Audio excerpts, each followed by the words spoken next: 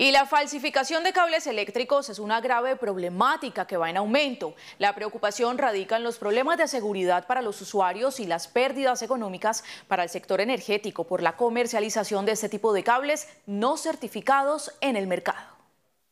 La falsificación de cables eléctricos es una de las actividades ilegales que más ha incrementado en el país. Según cifras entregadas por la Cámara Colombiana de la Energía, se estima que la DIAN incauta una gran cantidad de material del sector eléctrico que pretende ingresar al país de manera ilegal, lo que representa cerca de 60 mil millones de pesos al año, muchos de ellos de mala calidad y que se estarían comercializando en las calles de Cali.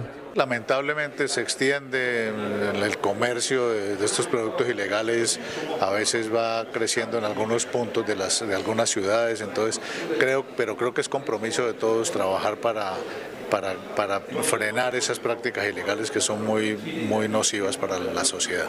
Este tipo de cables falsificados amenazan la seguridad de los usuarios, generando en muchas ocasiones graves emergencias como incendios. Se están colocando productos en el mercado que al final van a, van a generar un, un cortocircuito y consecuente incendio. Cada cinco días fallece una persona debido a un accidente eléctrico que pudo ser ocasionado por un elemento eléctrico que no funcionó como debía funcionar o una mala instalación eléctrica.